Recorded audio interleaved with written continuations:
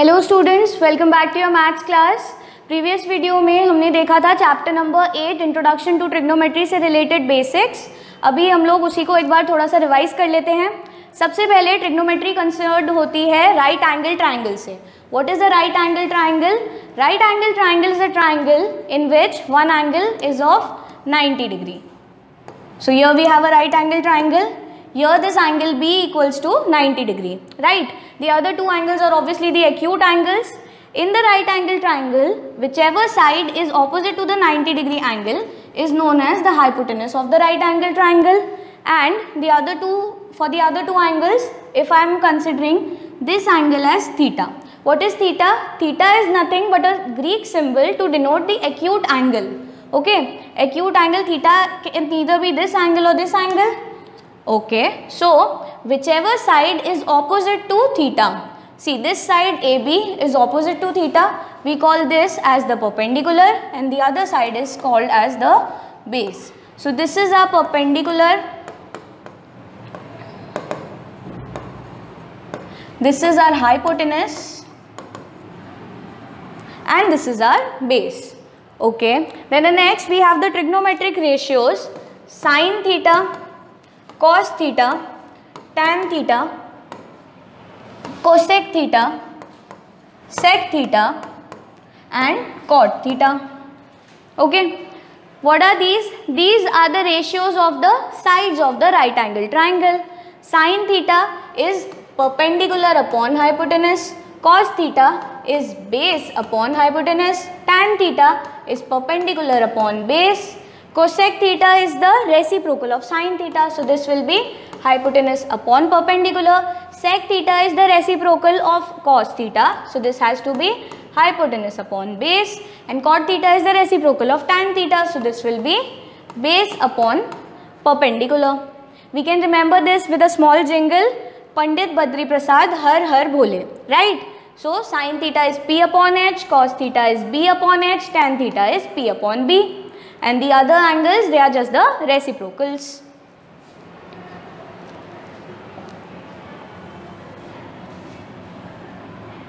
Next we also had a trick about the trigonometric ratio table. There are a certain specific ratios for which the values are fixed. How do we learn that table? See in this table, here we'll be writing theta. Here we have the ratio sine theta, cos theta, tan theta, cosec theta, sec theta and cot theta. Here we'll write the angle measurement 0 degree, 30 degree, 45 degree, 60 degree and 90 degree. Now I will teach you the short trick to memorize this table. Okay. Now see for sine. The first value here is theta. So we can write this 0, 1, 2, 3 and 4. Now because the last value is 4 here. So we can divide all of these values by 4. And then in the next step we can take the square root. Now, when we simplify this, 0 upon 4 will give us 0 only and square root of 0 is again 0 only.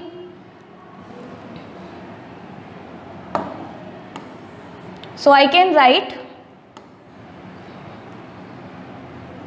so I can write the value of sine theta as 0 only. Now, if we simplify this, 1 upon under root 4, this will give me the value 1 upon 2 so here in place of this I can simply write 1 upon 2.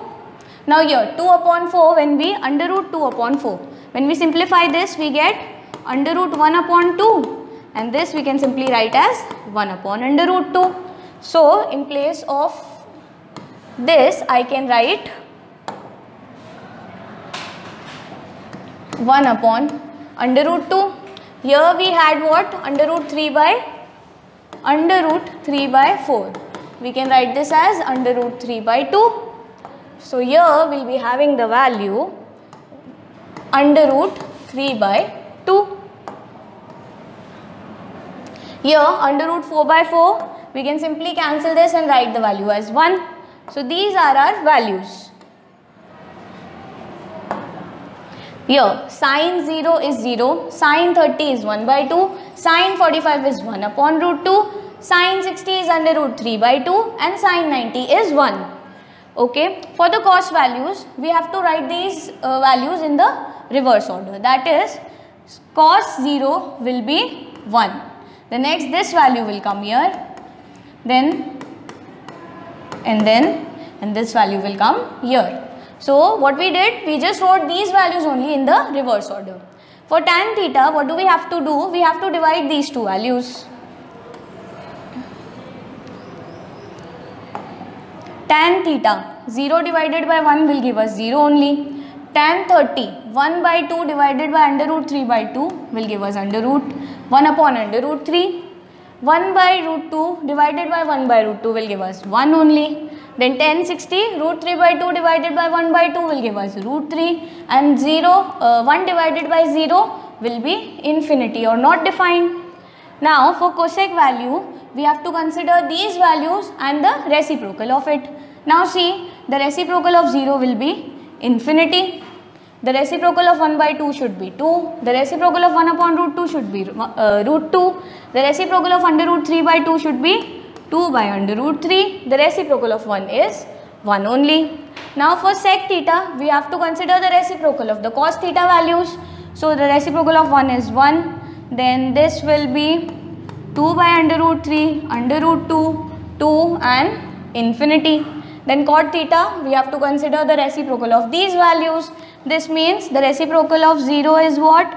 Infinity. The reciprocal of this will be under root 3 the reciprocal of 1 is 1 only, the reciprocal of under root 3 is 1 by under root 3 and the reciprocal of infinity will be 0.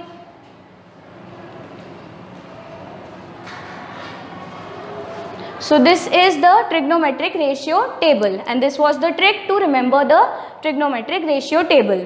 Now next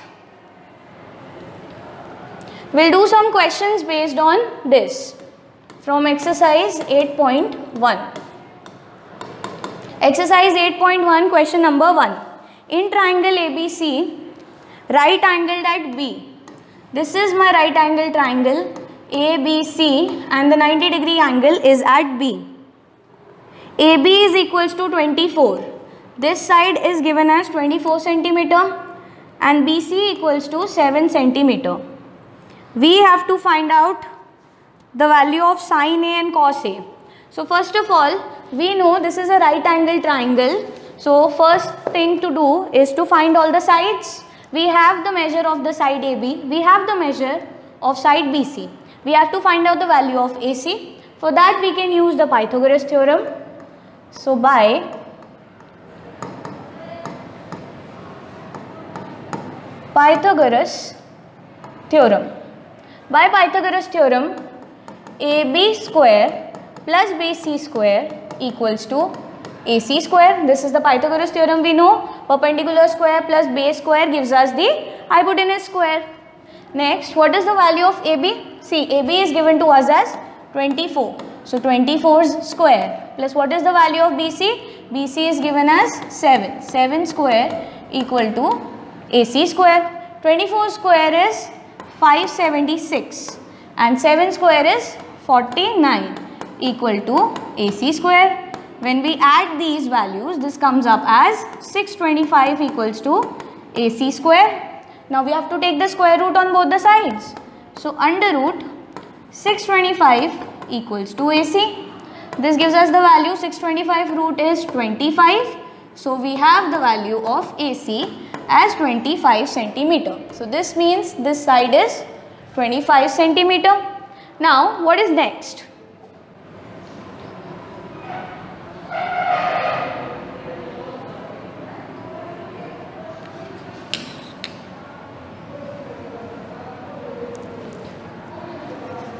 Next, we have to find the value of sine A.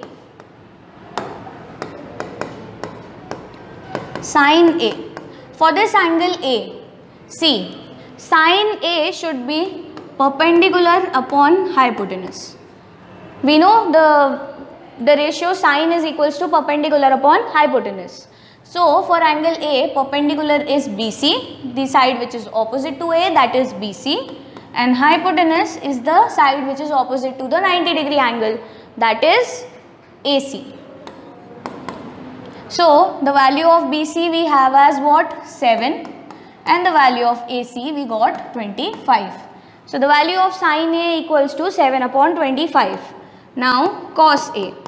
For cos we take base upon hypotenuse. For angle A base is what AB and hypotenuse is AC. So AB I have 24 and AC is 25. So these are my values sine A equals to 7 upon 25 and cos A is equals to 24 upon 25. Next what do we have to find? We also have to find sine C and cos C. Sine C again for sine we have to consider perpendicular upon hypotenuse. For angle C, the value of perpendicular changes. Now for perpendicular for angle C would be side opposite to C that is AB. So perpendicular is AB and hypotenuse is AC. The value of AB is what? 24 and the value of AC is what? 25. Now next we have cos C. Again cos will be base upon hypotenuse. The base for angle C is what? This side that is BC and the hypotenuse is AC. The value of BC is given as 7 and AC as 25. So this is the solution for the first question.